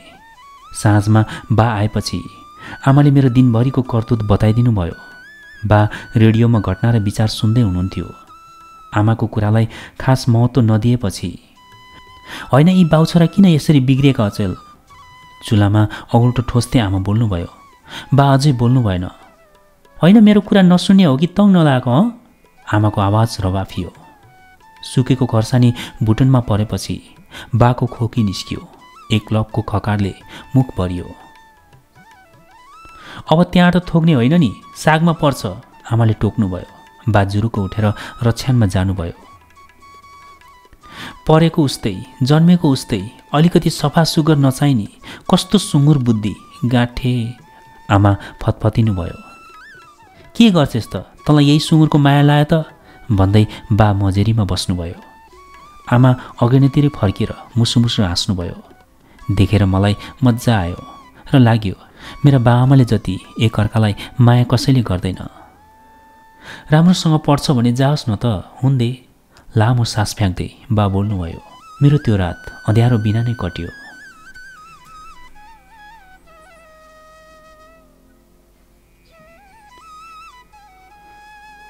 कक्षाको माहौल नै अलग थियो। माथि स्कुलमा सबैभन्दा सफा सुकिलो लगाउने मनै थिएँ। तर यहाँ त सबैभन्दा फोहोरी देखिए। अरूका कपडा नयाँ नै देखिन्थे मेरो सिवाय। औकातको पनि ठाउँ हुने रहेछ। मभन्दा कमजोरको अगाडि मात्रै म अब्बल देखिने रहेछु। तर भिडमा जाने हो भने प्रतिस्पर्धामा जाने हो भने मैले आफूमा हर तरहले परिवर्तन ल्याउनुको अपरियता कक्षाको पहिलो बसाइले दर्शायो। उही गाउँ उही ठाउँ। उही गाउँले उही पाठ्यक्रम तर चमक अलग सिकाइ अलग पहिलो दिन भएर पनि होला। मलाई उत्तिको हेरेको दृष्टिले कसैले हेरेन। कतिपय चिन्जानकै केटाहरू थिए। नौलो लाग्नुपर्ने कारण बाँकी रहेन। अग्लो र दुब्लो ज्यान कक्षाको सबैभन्दा पछिल्लो बेन्चमा टेसिएको थियो। बेन्च पार्टनर थिए सकुलाल श्रेष्ठ प्रभु दाहाल। मेरो थरले अरू भिन्न थरका मित्र पायो भिन्न जातको सङ्गत पायो। सम्भवत पहिलोपटक म आफूभन्दा ठुलो जातका दुई हस्तीसँग काँध जोडेर बसेको थिएँ। यसैले उनीहरूलाई पनि कतै असहज गराएन भन्नेसम्म मैले बुझेँ। चौरासीजनाको त्यो कक्षा कोठामा कोपिला केटीतर्फको हारको अघिल्तिरबाट तेस्रो बेन्चको भित्तामा बस्ती रहेछन् निकै बेरको सकसपछि आँखाले यति पत्ता लगायो। मलाई डर जस्तो उत्साह जस्तो थकै लागे जस्तो मुख सुके जस्तो हुन थाल्यो। जब म कोपिलाको अनुहार सम्झन्छु किन यस्तो हुन्छ होला? मेरो प्रेमको एकहोरोपनले आफूभित्र गतिलो जरा गाडिसकेको मलाई थाहा थियो। त्यो जराले मेरो प्रेमको भूगोल बाँध्न सक्ला कि नसक्ला? मेरो मनले बढाउन थालेको हिम्मतलाई उपल्लो जातको पहिरोले कुल्चना लाग्दा ढाल बनेर छेक्ला कि नछेक्ला? यस्ता प्रश्न आफै जन्माउँदै आफै जवाफ दिँदै मन हाजिरी जवाफमा लिप्त भइदिन्थ्यो। घडीमा चार र टिनिनिनिन्ने घन्टी एकैसाथ बज्यो। स्कुल एकैसाथ हुलमुलमा हेलियो। मलाई लाग्यो कोपिलाले मलाई पर्खिने छिन्। मेरो पहिलो दिनको बारेमा सोध्ने छिन् तर त्यस्तो भएन। मेरा आँखालाई धागोले उनेर आफ्नो केससम्म लगेर जोडिदिएपछि उनी सरासर घरतर्फ लागिन्। कक्षामा खासै होहल्ला र चकचक नगरेकी कोपिला मस्त गफिँदै र हाँस्दै हिँडिरहेकी थिइन्। मैले पछ्याइरहेँ। बाटो छोटिँदै गयो। उनीसँग हिँडेकाहरूले आफ्नो गोरेटो समाते। मेरो त कहाँ जानु थियो र? उनकै करेसो हुँदै उँभो लाग्नु जो थियो। उनको आँगनमा टेक्न लामो लामो ढुङ्गाका तिनवटा खुड्किला बनाइएको थियो। तलबाट पहिलो खुड्किलामा उभिएकी कोपिला मलाई केही भन्दै वा सोध्दै थिइन्। म फेरि भर्खर तारिएको जलेबी जस्तो भएँ। शरीर रातो तातो र कता कता बटारिएको थियो। मन त यसै पनि जलेबी नै हुने भइहाल्यो। कस्तो लाग्यो हाम्रो स्कुल? उनले सोधेकी रहेछन् राम्रो मैले भनेछु। किन लास्ट बेन्चमा बसेको नि? उनको अर्को प्रश्न रहेछ। जसम्म मैले आफ्नै शैलीमा थोरै चिन्ताको र चित्त नबुझाइको स्वाद थपिदिएँ किनकि उनले मलाई कक्षामा देखेकी रहेछन् आहा त्यसपछि त्यो प्रश्नको मिठास जलेबी सर भइदियो। खालि त्यही थियो त्यही भएर। आज्ञाकारी बच्चाले हर सवालको ठिक ठिक र अविलम्ब जवाफ दिए चाहिँ उनको प्रश्नको जवाफ दिए। उनी खुड्किलो उक्लिएर आँगनमा पुगिन्। मलाई हेर्दै नहेरी पिँढीमा पुगिन्। मैले देखेँ उनले ढोकाबाट भित्र पस्नु अघि एक नजर म उभिएको दोबाटोमा पुर्याइन् नजर फर्काइन् र अलप भइन्। यो प्रक्रियाले अरू दुई साल बितायो। ती दुई वर्षमा मुस्किलले मैले दुईपटक उनीसँग नजिक हुन खोजेँ होला। ममा हिम्मत किन नआएको होला? कोपिलासँग सामान्यभन्दा सामान्य शब्द बोल्न पनि मलाई गाह्रो पर्थ्यो। जिब्रो थपक्क टाँसिएर बसिदिन्थ्यो। कहिलेकाहीँ गृह कार्यका विषयमा कुरा गरिन्थ्यो। कपी साटासाट गरिन्थ्यो। उनको कपी लिएर घर गएको दिन उनीलाई लिएर गएको आवाज हुन्थ्यो। भरिएका पाना होस् या खाली म प्रत्येक पाना पल्टाउँथेँ जहाँबाट उनको सुगन्ध आउँथ्यो। कतै मेरो नाम लेखेकी त छैन भनेर एक एक कुनामा हेर्थेँ। आफ्नो कपी फिर्ता लिएको दिन पनि उस्तै हुन्थ्यो। केही लेखेर छोडेकी त छैनन् भनेर सम्पूर्ण पाना खोतेलेर हेर्थेँ केही लेखिएको हुँदैन थियो तर उनको उही सुवास उही सुगन्ध टाँसिएको हुन्थ्यो जो म सुँगेर थाक्दिन थिएँ मनमनै मबाट म हराउन थालेको करिब तिन वर्ष भइसकेका थियो यद्यपि शारीरिक रूपमा भने भर्खर देखा पर्न थालेको थियो घरमा टिभी आएको थियो। म खेत खन्न मेला जान सोतर काट्न पर्खा लगाउन जान्ने भइसकेका थिएँ जसले बालाई सबैभन्दा सहज पारिदिएको थियो। सिलाउन भने उति राम्रोसँग सिक्न सकेको थिएन। कमाउन सक्ने भएकाले बालाई एक प्रकारको सुकुन मिलेको थियो। जिल्ला स्तरीय परीक्षा आयो जसले अन्य परीक्षाले भन्दा भिन्न रूपले सतायो। सबै तयारीमा लागे। म पनि पास त गर्नुपर्छ भनेर लागेँ। यद्यपि कोपिलाको सङ्गतले मेरो स्तर सुध्रिएको थियो। मैदानमा उत्रिएपछि जति नै अब्बल भए तापनि हार्ने डर त हुँदो रहेछ। त्यही डरले डोर्याएर जिततर्फ लाने रहेछ कि त? कोपिलाले आफ्नो परीक्षा राम्रो भएको सुनाइन्। सुनेर मेरो पनि राम्रै भयो होला भन्ने लाग्यो। नतिजा नआएसम्म स्कुल जान परेन। म कोपिलाप्रति झन्झन आकर्षित हुँदै गइरहेको थिएँ। हरपल उनीहरूलाई देख्न मन लाग्नु यो कस्तो मन? शनिबार टिभीमा हेर्ने सिनेमामा पनि उस्तै तर्पण देखाउँछ उस्तै पर्खाइ उही चाहना देखाउँछ। कहिलेकाहीँ लाग्छ। मेरो कथा फिल्मका रूपमा आइरहेको छ। मेरै लागि गीतहरू लेखिएका हुन्। मेरै लागि गाइएका हुन्। तर भिन्नता एउटा थियो कि ती नायकहरू म जसरी डराउँदैनन् ती निर्धक्क गफिन सक्छन् आफ्नी मनकी प्रेमिकासँग। म मात्र किन यस्तो भएँ भनेर गोत्लिन थालेँ जसरी ती नायकहरूले आफ्नो नजिकका मित्रहरूसँग मनको हाल बताउँछन्। उसै गरी मैले पनि कसैलाई भन्न पाएँ सायद यो समस्याको समाधान हुँदो हो। झैँ लाग्यो। नरेलाई सबै कुरा बताउने निर्णय गरेँ। कृष्ण मन्दिरमा पूजा लाउँछन् रे। सबैले सकेको रकम दिनु भन्या छन्। अर्को दिन बाले सुनाउनु भयो। हामी न पूजा गर्न पाउँछौँ न छेर्न पाउँछौँ। किन दिनु? मैले भने। होइन यो केटोको बुद्धि कहिले आउँछ हँ? मन्दिरा दिने हो भगवान्का लागि। पूजाआजा गर्न मन्दिरा छिर्न पर्दैन। मना हरि भएपछि भयो। आमाले कराउनु भयो या सम्झाउनु भयो। मैले बुझिनँ। पाँच सय बिस दिने कुरा भयो। अर्थात् किनेर खाने हो भने बिस किलो चामल आउने पैसा आफूलाई निषेध गरिएको एउटा मन्दिरका लागि खर्चिने भइयो। यो वितृष्णा केही हप्ता अगाडिको घटनाको आलो घाउ मेरो मनमा गाडिएको भएर हो। त्यही कृष्ण मन्दिरको मर्मत सम्भारको कुरा भएछ। मन्दिरको चारैतर्फ ढुङ्गाको पर्खा लगाउने काम आयो। म पर्खा लगाउन सिपालु भएकाले ठेकेदारले आग्रह गर्यो स्कुल जानु थिएन आउँछु भने। कामको सुरु भएको दिन सोमनाथ र उसका आसेपासे आएर अछुतले पर्खा लगाउन नमिल्ने उर्दी जारी गरे। सोमनाथ उही मान्छेको खोल ओगडेको राक्षस हो जसले लाली आमैलाई आरानमा डढाएको थियो। उसको अगाडि कसले के बोलोस्? मैले पसिना बगाएर खान पनि नपाउने यो समाजदेखि घृणा लाग्छ। के थाहा फेरि अछुतले यो धरतीमा छुनु हुँदैन भन्दै आउन बेर छैन। अछुतले फेरिको सास यो हावामा घोलिएको छ अब सास फेर्न पाइँदैन भन्न के बेर? अछुतका आँखाले देखेका हर चिज बिटुलिए आँखा फुटाउ भन्न के बेर? दुःख यस कारण लाग्छ कि यसको विरुद्धमा बोल्ने कोही छैन। पुच्छर लागेर हिँडेकाहरूलाई पनि सोमनाथ आफ्नो घरमा छेची र दूर दूर गर्छ। कम्तीमा तिनीहरूले त यो विभेदलाई बुझ्नुपर्छ तर उनीहरू त्यसरी हेपेर आउँदा पनि दिमागको ढकनी खुल्दैन र फेरि आफूभन्दा तल्लो जातकालाई उही व्यवहार र उही वचनले ढस्छन्। त्यो दुखाइ बुझेकाले त्यो पीडा सहेकाले फेरि किन अर्कालाई उही पीडा दिन्छन् होला? किन उसै गरी दुखाउँछन् होला? कसरी मान्दो त्यो मनले? के कसैको मन पत्थरले बनेको हुन्छ होला र? छेउछाउमा बसेर बाबामा कृष्ण भजन सुन्नुहुन्थ्यो। खुसी मान्नुहुन्थ्यो। मलाई भने कोपिलालाई नदेखेकोमा तनाव थियो। पूजा सुरु भएको हप्ता बितिसक्दा पनि कोपिला मन्दिरमा आइनन् लेखनाथ पण्डित भने चौबिस घन्टा खटिएका थिए। मैले पण्डितनीलाई पनि देखिनँ। यो त अचम्मै भयो। गाउँमा यत्रो पूजा हुँदा पण्डितनी नदेखिनु मेरो लागि नौलो विषय भइगयो। त्योभन्दा ठुलो त कोपिला किन आएनन् भन्ने चिन्ताले कोतरियो।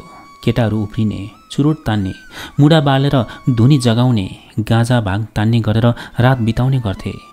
म भने बिहान होस् या दिउँसो आरतीको समय होस् या भजन कृष्ण लीलाको नाटक होस् या कथा वाचन हर पल कोपिलाको प्रतीक्षामा हुन्थे। पण्डितनीलाई त देखिएन नि आमा यो पालिको पूजामा सोधेँ। अब किन चाहियो तँलाई? किन आएनन् भनेर? कपडा धुन बसेकी आमा? टक्क अडिएर मलाई हेर्दै भन्नुभयो। होइन यत्तिकै मैले भनिदिएँ। छोरी भएका आमाहरूका अनेक काम आउँछन्। रित चलाउनु परेको? जोड जोडले साबुन दल्दै उही रफ्तारमा आमा फेरि बोल्नुभयो म वाल्दा परेँ। कति मैलो गराएको रहेछ यो कात्रो? आमा एक्कासी रिसाउनु भयो मेरो जिन्सको प्यान्ट धुन आमालाई सधैँ गाह्रो लाग्थ्यो। मैले आमाको थाकेको अनुहार हेरेँ गलेका पाखुरा हेरेँ र मनमने भने आमा आइन्दा लगाउँदिनँ। छोरी भाकाहरूमा अनेक काम आउँछन् रित चलाउनु परेको आमा केही शब्द मेरो टाउकामा माथिबाट उडेर गयो र घरिघरि टाउकामै बस्न आयो। आखिर यसको मतलब के हुनसक्छ? पण्डितनी के को रित चलाउँदै होलिन्? प्रश्नमाथि प्रश्न थोप्रिन थाल्यो। एक झल्को मात्रै देख्न पाए हुन्थ्यो झैँ भयो। तर पाइन यो बेचैनीले दृढता जन्मायो आत्मबललाई तिर्खायो र तय गर्यो अब कोपिलालाई जहाँ जहिले भेटे पनि मेरो मनको हाल बताउने छु प्रेम प्रस्ताव राख्नेछु। अब यो तडपन र यो छटपट्टि बराबरी बाँड्ने आग्रह गर्नेछु। मनमा टुसाएकी कोपिलालाई डकमक्क फुलेको हेर्नेछु। सोचेको कहाँ पुग्छ र चाहेको कहाँ गर्न सकिन्छ र आँटेको कहाँ पुरा हुन्छ र यो त सिनेमामा मात्र सम्भव रहेछ सकिनँ। मैले फेरि मनको हाल बताउन न त पूजामा मन्दिर किन नआएको नै सोध्न सकेँ। कोपिलालाई पाउन उनलाई आफ्नै प्रेमिका भन्न र उनीसँगै जीवन बिताउन आँट गर्ने म र त्यसका खातिर संसारसँग लड्छु सम्म सोच्न सक्ने म उही कोपिलाकै अगाडि कमजोर हुन्छु। बिजेको रुमाल झैँ लल्याक लुलुक हुन्छु।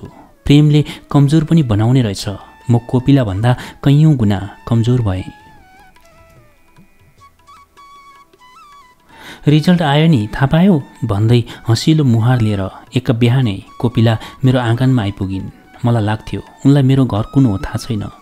मलाई गलत साबित गरिदियो उनको आगमनले। कहिले? सोधिदिएँ।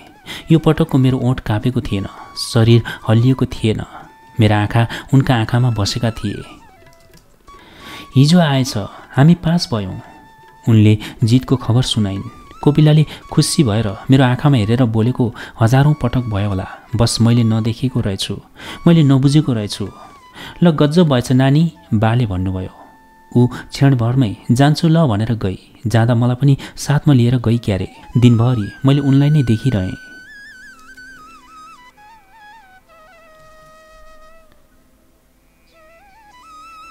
कक्षा नौ सुरु भएर निकै पर पुगिसकेको थियो। म फेरिएको थिएँ। मेरो शरीरले विभिन्न ढाँचा ल्याएको थियो।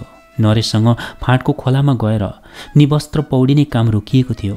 यसै पनि घरको जिम्मेवारी लिन थालेको थिएँ। उमेरभन्दा पहिले दौडिएर परिपक्वताले जितेको थियो। समाजलाई झन्झन नजिकबाट प्रत्यक्ष निहाल्न सक्ने भएको थिएँ। मान्छेले गर्ने व्यवहारको सही ढङ्गले पहिचान गर्न सक्ने भएको थिएँ। केही साल अगाडिसम्म मनमा आउने समाज र कुतिथिप्रतिको विद्रोह उस्तै थियो तर व्यावहारिकताले केही अलग गराएको थियो। आत्मसमर्पण नै नभए पनि त्यही समाजमा रहनका खातिर केही सम्झौता गर्दै थियो मनले। परिवर्तन एक रातमा एक्लो व्यक्तिले ल्याउन सक्ने होइन रहेछ। परिवर्तन भनेको जसलाई चाहिएको हो र जसले दिन पर्ने हो त्यहाँबाट जन्मने रहेछ। विडम्बना छुत र अछुतको समागम आजसम्म हुन सकेन। पारस्परिक चेतले नछोएसम्म यो अरू कैयौँ युग पार गर्ने निश्चित छ। यस्तो चेतनाले भरिएको थिएँ म। कोपिलासँग निर्धक्क बोल्न सक्ने भएको थिएँ। आँखामा हेरेर गफिन सक्थेँ। मलाई लाग्थ्यो उनको पनि सबैभन्दा नजिकको साथी म नै हुँ। उनले मसँग गर्ने हरेक कुराकानी उनको हेराई उनले मसँग दुखाउने चित्त मसँग राख्ने आशा र ममाथि गरेको भरोसाले धेरै कुरा बोल्दै थियो। यिनै सिलसिलाले सम्बन्धको मूल खाबो गाडिसकेको थियो। यति बुझ्न सक्ने भएको थिएँ म। हामी बिच जातको कुरा कहिल्यै उठेन। सायद यही कारण हुनपर्छ। हाम्रो आपसको दूरी छोटिएको। मसँग हुँदा कोपिलाको मुहारमा आउने खुसीले मेरो आत्मबल बढाएको थियो धैर्यता सिकाएको थियो र हलपल हर क्षेत्रमा हुने अपहेलना र उपहासलाई सहन सक्ने बनाएको थियो। मङ्सिर तिन गते शुक्रबारको दिन स्कुलबाट पिकनिक जाने कुरा भयो। दक्षिणकाली सबैजना जाने नै भइयो चिसो मौसम हल्का सुरु भइसकेकाले सबैले स्वेटर र ज्याकेट भिरेका थिए। दुईवटा बस आयो। मलाई कोपिलासँगै बसेर जान मन थियो। नरेलाई सबै कुरा निकै पहिला नै बताइसकेको थिएँ। ऊ त मलाई सताउनु परेमा अथवा मबाट केही काम लिनु परेमा। कोपिला भाउजूलाई भनिदिन्छु नि भनेर तर्साउन थालेको थियो। मलाई रिस र खुसी दुवैले एकसाथ अङ्कमाल गरिदिन्थे। नरेले कोपिलालाई हकले भाउजू भन्न पाएको दिन मैले हकले मेरी श्रीमती भन्न सक्थेँ। यो चान्चुनी कुरा थिएन। कोपिला सुजिता सरु कोमल सँगै आए। म र अरू केटाहरू बसमा सामान लोड गर्दै थियौँ। मलाई हतार हुँदै थियो। बसभित्र छिरेर कोपिलालाई सँगै बस्ने आग्रह गर्न नरेले ठ्याक्कै बुझिहाल्यो। जामुजी तेरो मनको कुरो मैले बुझेँ मेरो ढाडमा धाप मार्दै नरेले भन्यो। बिहान बिहानै तेरो मुखमा कागले अग्झै नरेको बातै पछि छाडा बोल्ने बानीले धेरै पटक अप्ठ्यारोमा पारेको थियो।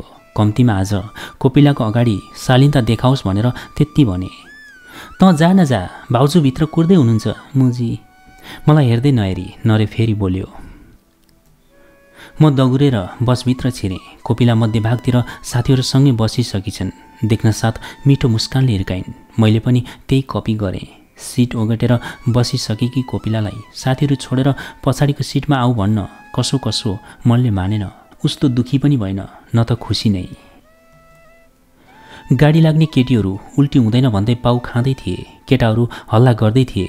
केही बेरका लागि अन्त्याक्षरी चल्यो। फेरि रोकिन्थ्यो फेरि चल्थ्यो रोकिन्थ्यो। जसमा म सामेल थिइनँ उता कोपिला पनि सामेल थिइनन् खै उनी कुन सोचमा डुबेकी थिइन् कुनी उनले कपालमा सिउरिएको प्याजी गुलाब हेरेरै मेरो यात्राले गन्तव्य मेटायो। मन्दिर जाऊँ न स्पिकरको तार मिलाउँदै थिएँ कोपिला आएर भनिन् अरे पहिला चना ब्रेड खाने अनि जता जता गए नि पाइन्छ भनिदिए। नाइ के खाएर पूजा गर्नुहुन्न गर आइहाल्ने के प्लिज न। आहा उनको आग्रह लाग्यो। उनी यसै गरी गनगन गरिरहन् म चुपचाप सुनिरहँ। फेरि उनी रिसाउन् या रिसाएको अभिनय गरून्। मलाई झड्का लागोस्। उनी चुप्प बसुन्। दृश्यमा सनट्टाले राज गरोस् तर उनका आँखाले चाहिँ भनिरहन् जाम्न हिँड। त्यसपछि बल्ल उनलाई दाहिने पारेर कुमजोड्दै हिँडौँ। हो कल्पनाको यस्तो पहाड ठडियो मेरो अगाडि। चिसो सिरोटोले पनि मेरो समर्थनमा आफ्नो बेग बढायो बादलले छोपेको सूर्यले आफ्नो अनुहार देखायो तर न्यानोपनको कुनै गुन्जास थिएन। रवि कस्तो वाल्ल परेको के? जाम्न छिटो।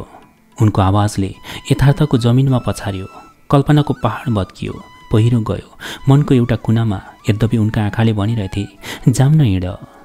ए पूजा गर्न भनेर त यस्तो मिठो पाउ नखाइ आएको म चञ्चले हुँदै बोलिन्। ए हो मैले उनको सिको गर्दै उस्तै पारामा र उही लवजले सोधेँ। अनि त उनले भनिन् लगत्तै आम्मा मलाई जिस्काएको रहेछ। पन्जा लगाएको हत्केलाले मेरो कोखमा चिमटिन्। के चिमटियोस्? त्यो छुवाईको कसरी वर्णन गर्न सकिएला र? अरू कसैलाई गर्न नपर्ने पूजा तिमीलाई परेको है? कारण छ के? के कारण? मन्दिर नजिक पुगेका थियौँ। उनले पछाडि भेरेको झोलाबाट पूजा सामग्री निकालिन्। फुलदेखि मालासम्म बोकेकी रहेछिन्। जुत्ता खोलिन्। गलाको मफलर खोलिन्। धुप सल्काइन्। मैले हेरिरहेँ यहाँ कहिले नभएको काम हुँदै थियो। मैले छोएको पूजा सामग्रीले कोपिला मन्दिरमा पूजा गर्न लाग्दै थिइन्। ल तिमी पनि जुत्ता खोल। ऊ त्यो पानीले हात पखाल र यो नरिवल लिएर आऊ। मलाई थाहा छैन किन ऊ कोपिलाले यी सब मेरा आँखामा एकपटक नहेरी भनिन्। उनी थोरै हतारमा थोरै हत्यासमा र थोरै भए मिश्रित हाउभाउमा थिइन्। हुनसक्छ उनले सास रोकेर राखेकी हुन्। बिहानीको त्यो चिसोले मेरो छातीलाई हुरहुरी बाल्दै थियो। अप्रत्याशित अनपेक्षित अस्वीकार्य र असामाजिक काम हुँदै थियो मन्दिर परिसरमा। केही बेर अघिसम्म पुतली जस्तै चञ्चल गर्दै र बोल्दै हिँडेकी कोपिला यति बेला पुनत फेरिएकी थिइन्। म लहरे बलिरहेका दियोहरू निहालिरहेको थिएँ। वास्तवमा के हुँदैछ भनेर बुझ्न सम्म नदी कोपिलाले मलाई मन्दिरको द्वारसम्म घचेट्ने चेष्टा गरिन्। कोपिला म त्यहाँ जान हुन्न। कसले भन्यो हुन्न? तिमीलाई थाहा छ त कोपिला। मसँग हुँदा तिमीलाई कतै छेकबार छैन। तिमीलाई निषेध छैन। बुझ्यौ नि? कोपिलाको अनुहारमा रगतको बाढी आए झै लाग्यो। मलाई के र कसरी प्रतिक्रिया जनाउने सुझेको थिएन। पहिला यहाँ पूजा गरौँ अनि म भन्छु हुन्छ कति मायालु तरिकाले सोधिन्। हुन्छ? मैले बोल्नु केही थिएन। गर्नु केही थिएन सिवाय उनको सिको गर्नु। उनले मूर्तिका जहाँ आफ्ना हातले छुन्छन् त्यहाँ छुनु। उनले जहाँ फुल चढाउँछिन् त्यहाँ फुल चढाउनु। बस। मैले जीवनमा पहिलो पटक मन्दिरभित्र गएर भगवान्का मूर्ति छोएर भगवान्लाई नजिकबाट निहालेर पूजा गरेँ। बाहिर निस्किएर कोपिलाले मूल ढोकाको ठेलामा नरिवेल फुटाइन्। त्यसबाट निस्किएको केही थोपा पानी मन्दिरमा छर्किदिन् र केही थोपा मेरो शिरमा। त्यति बेला उनी भन्दै थिइन् मेरा लागि तिमी कहिले अछुत थिएनौ छैनौ र कहिले हुने छैनौ। तिम्रो आफ्नो मनमा भएको त्यो जातको मैलो र तिमीले बोकेर हिँडेको दलितको उपनामलाई मैले यो जलले मेटाइदिएको छु। मलाई बाँकी दुनियाँ र तिम्रो सम्बन्धको बारेमा केही भन्नु छैन। तर मेरो लागि तिमी म बराबर छौ मेरो लायक छौ र मेरो मनले तिमीलाई आफ्नो बनाउन चाहेको छ। रवि आई लभ यु उनका ती शब्दहरूले मलाई के भयो कुनै मेसो भएन। म सायद त्यो भित्रको भगवान् जस्तै बनेछु कि त। पूर्णत स्थिर शान्त र भावहीन। मैले वर्षौँदेखि चाहेको एउटा मिठो पलको उद्घाटन भएको थियो। कोपिलाको हिम्मतले आकाश छोएको थियो। म प्यारालाइसिसको बिरामी जस्तो भएको थिएँ।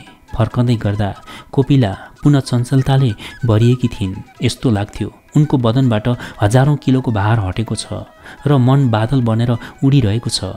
उनको अनुहारलाई सन्तुष्टिको कुहिरोले छपक्क छोपेको छ। उनी बोलिरहने मुडमा थिइन्। बिना सवालका जवाब दिइरहेकी थिइन्। कृष्ण पूजाको अघिल्लो दिन मेरो फर्स्ट टाइम पिरियड भयो। बिना प्रसङ्ग उनले यो बताइन्। मैले एक झड्का लगाएर उनीतर्फ हेरेँ फिस्सा हाँसेँ। उनले पन्जा लगाएको दाहिने हत्केलाले ओठ छोपिन्। सम्भवत उनलाई लाजको एउटा धर्को मेटाउनु थियो। त्यसपछि बाहिर निस्किनै मिलेन मन्दिर जान पाइनँ। तिमीलाई सम्झिरहेँ। तिम्रो आँखाले मलाई खोजिरह्यो होला जस्तो लागिरह्यो। मलाई थाहा छ तिमी पनि मलाई माया गर्छौ। गर्छौ नि है रवि। कसरी देखाउँ कोपिला सासको लामो सर्गसँगै यति निस्कियो ओठको बाटो भएर। जसरी तिमीलाई आउँछ कति छिटो फर्काइन्? यो जवाब। मेरो तरिका तिमीलाई मन परेन भने नि। मलाई सम्पूर्ण तिमी मनपर्छ जसमा तिम्रा तौर तरिका पनि पर्छन्। यति बेला मैले संसार जितेको जस्तो अनुभव गरेँ। आखिर कोपिलाले पनि यसरी सोच्ती रहेछन् मलाई कसरी थाहा होस्? लगत्तै मनले फेरि गाउँमा पुर्यायो। कसैले देखे सुनेको भए मेरो र कोपिलाकै पनि के हुन्छ होला? तर कोपिला मैले मन्दिर छिरेर पाप गरेँ। एउटा अनिश्चित भवितव्यको सम्भावनालाई टेकेर भने मन्दिर छिरेर पाप हुँदैन धर्म हुन्छ रवि। यदि पाप नै भएछ भने पनि हाम्रो आदि आदि भाग आउँछ। उनले यो लाइन यसरी भनिन् कि मानव उनी कुनै सुपरस्टार कलाकार हुन् बस त्यहाँ बनावटी मुस्कान थिएन आवाज थिएन र हडबडावट थिएन। हामी गफिँदै मन्दिरको उत्तरतर्फको सिँढी उक्लिँदै थियौँ। भगवान्सँग के माग्यौ? उत्साहित हुँदै सोधिन्। भगवान्ले मागेको दिने भए माग्दो भनिदिएँ। दिने नदिने अलग भयो नि भन न के माग्यौ? यदि मागेको पाइन्थ्यो भने मेरो जीवन र अस्तित्वको सबैभन्दा ठुलो दाग मेरो यो जात मेटाउने शक्तिको माग गर्थे।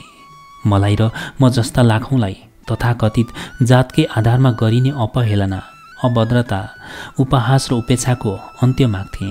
न्यायको भिग माग्थे। लाली आमै र उनको जस्तै शारीरिक र मानसिक रूपले विक्षिप्त बन्न बाध्य बनाइएका लाखौँ आमैका लागि। श्रम स्वतन्त्रता र कमाएर खाने अधिकारमाथिको सिन्डिकेट भत्काउने साहस माग्थे। यति भन्नु थियो तर त्यो समय कहाँ यो सबका लागि थियो र त्यो बिहानीले मेरो जीवनकै दिशा परिवर्तन गरेको थियो सकिन भन्न यी सब मनमा दबिएर बसेका कुण्ठाहरू। तर उनका सवालमा भएका नम्रता उत्सुकता र मासुमियताले यति नभनी रहन सकिनँ कि मैले खास केही मागिनँ। जे माग्नु थियो त्यो मैले भगवान् सामु पुग्नु अगावै पाइसकेको थिएँ। उसले त मलाई भगवान् समक्ष पुर्याई तर एउटा कुराको आग्रह गरेको छु त्यो के हो भने भगवान् आफैले त तिमीलाई बनाएन उसको कालीगढले बनाएको हो। मेरा लागि यति सुन्दर व्यक्ति बनाइदिएकोमा त्यो कालीगढलाई धन्यवाद भनिदिनु भने सुनेर कोपिला एक सेकेन्डका लागि ठुलो आवाजले हाँसिन् र निकै बेरका लागि रोइरहन् रोइरहन् मेरो छातीमा टाँसिएर। त्यसपछिका दिन र रातले आफ्नो उपस्थितिमा प्रतीक्षा र तर्पणको कोसेली ल्याउन थाले। दिनले रातको प्रतीक्षा गराउँथ्यो जहाँ कोपिला मेसेन्जर बनेर रातभरि टिङ टिङ बस्थिन्। फेरि रातले दिनको प्रतीक्षा गराउँथ्यो जहाँ ट्युसन र कक्षा चौर र डाँडा जङ्गल र भोक र तिर्खा एकै भइदिन्थे एकै साथ भइदिन्थे। हाम्रो सम्बन्धले एउटा बलियो नाम पाएको थियो। त्यो पनि विविधत रूपले कालीलाई साँची राखेर। त्यति भएर पनि यो प्रेम परेवाका जोडी बनेर उड्न सक्दैन थियो। मयरको पाँख बनेर फिजिन सक्दैन थियो। यसलाई बचाउनका लागि लुकाउन जरुरी थियो जो हामीले गरिरह्यौँ लुकाइरह्यौँ। एसएलसी सकेर कोपिला बिहान बिहान कलेज जान थालिन् र दिउँसो सिलाइ बुनाइको तालिम लिन थालिन्।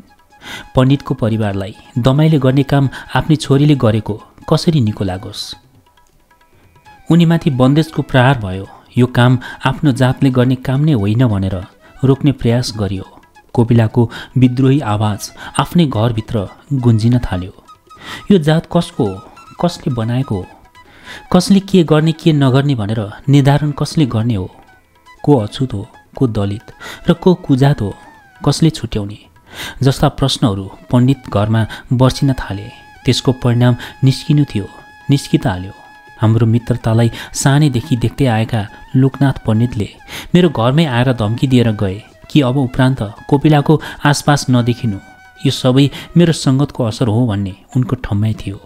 कोपिलालाई निस्कन पूर्णत निषेध गरियो। उनको फोन जफत गरियो।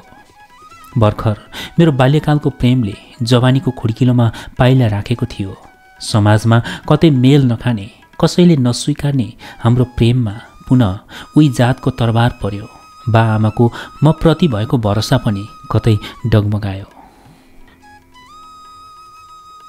तैँले आफ्नो औकात बिर्सिस् केटा गल्ती गरिस्। तेरो यो गल्तीले लहराले पहरा ताने चाहिँ हामी सबैलाई तानेर कहाँ पुर्याउला? किन सोचिनुहोस् हाम्रा बारेमा? बा भन्दै जानुभयो। बोल्दै जानुभयो। गाउँमा कसैलाई थाहा नभएको। बाको तम्बाकु तान्ने बानी जो।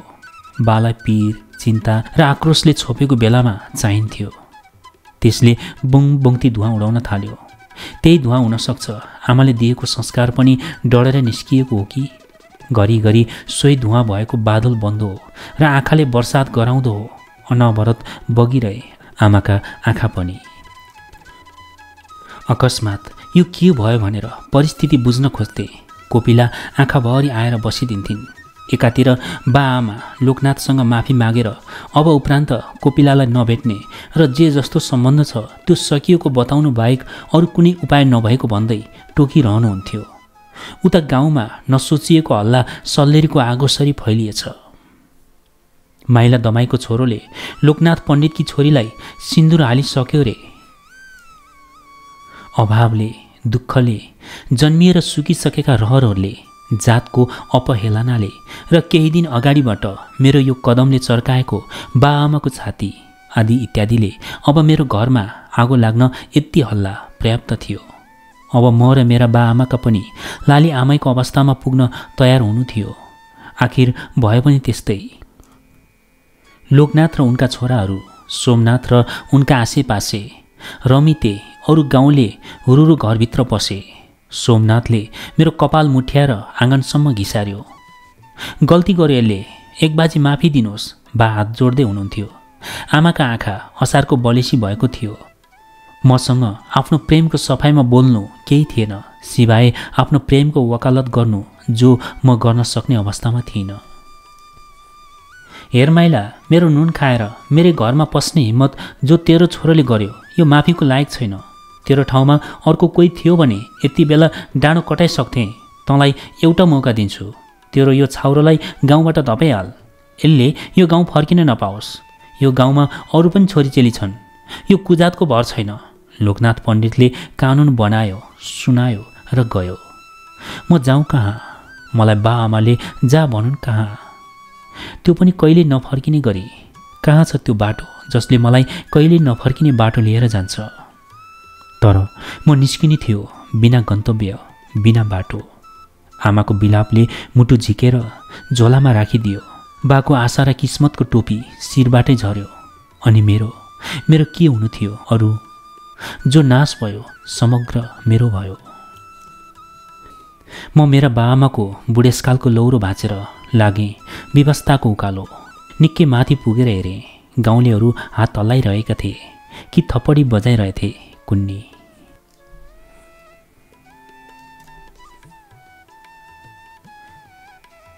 कोपिलाको त्यो लामो म्यासेज पढिसकेपछि झरे या पढिरहँदा झरिसकेका थिए।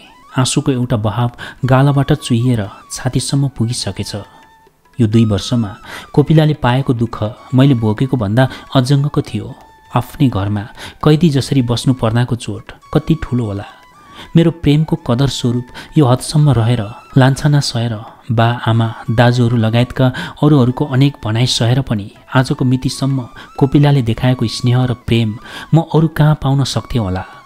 सोच्ने कतै ठाउँ थिएन। बस अब त्यो समय आएको थियो जो हाम्रो सगोलको सपना थियो जुम्ल्याहा सपना थियो। कोपिलालाई विधिवत रूपले कोपिला परियार बनाउन त्यही ठाउँ गएँ जहाँ कोपिलाले आफ्नो प्रेमको दियो सल्काएकी थिइन्। दक्षिण कालीको मन्दिर।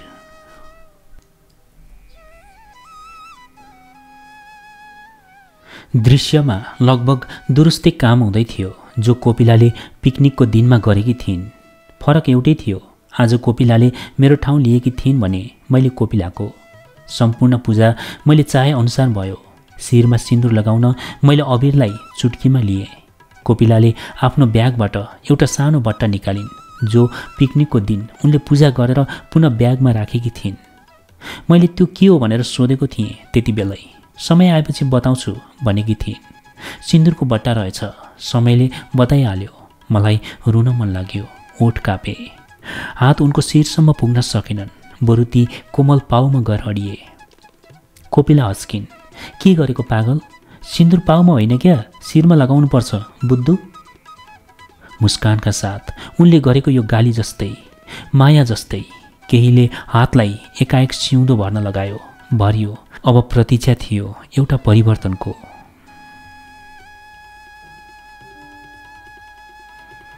कोपिला टेलर्स एन्ड बुटिक लेखिएको फ्लेक्स बोर्डमा धुलो धेरै जमेकाले पुछ्न भनेर म पानी र रुमाल लिएर बाँसको भर्याङमा उभिएको थिएँ।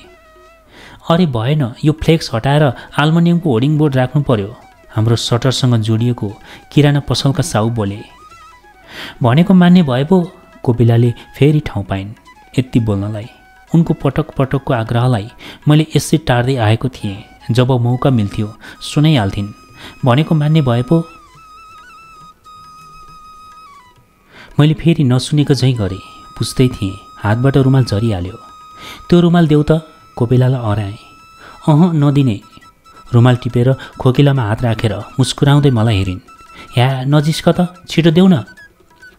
नदिने। म तल आउनु परेको हो धम्कीको आवाजमा भने। हो उनी झन्किएकौँ म हारेर त्यही भर्याङमा बसेँ। सडक छेउमा केटाकेटी खेल्दै थिए। सेतो वस्त्रधारी एउटी महिला परेबाट हाम्रो क्रियाकलाप निहालिरहेकी थिइन्। मैले उनलाई देखेको चाल पाएपछि उनी पसल अगाडि आइपुगिन्। कोपिला भित्र पसिसकेकी थिइन्। उनी पनि भित्रै छिरिन्। फेरि केही बेरमै निस्किहालिन्। बिचरी भर्खर विधुवा भएकी रहेछिन्। मेरो मनको लक। तर होइन रहेछ। उनी निस्किँदा पछ्यौरामा ओम शान्तिको ट्याग देखेँ। महिलाले खेलिरहेका केटाकेटीहरू नजिक पुगेर म पनि खेलौँ भनिन्। केटाकेटीहरू बोलेनन्। उनले सबैको नाम सोधिन्। भएका मध्ये एउटाले बतायो परिवर्तन परियार। ती महिलाले उनको मुहार सुमसुमाइन्। ऊ हुरुरु दौग्रेर मामु भन्दै कोपिलालाई अँगाल्यो। खै किन हो कोपिला घरि मलाई त घरि ती महिलालाई हेर्दै आँसु खसालिरहेकी थिइन्। म हतारिएर झरेँ र सोधेँ के भयो प्यारी? चोर औँलाले देखाउँदै भनिन् दिदी ती महिला पर पुगिसकेकी थिइन्।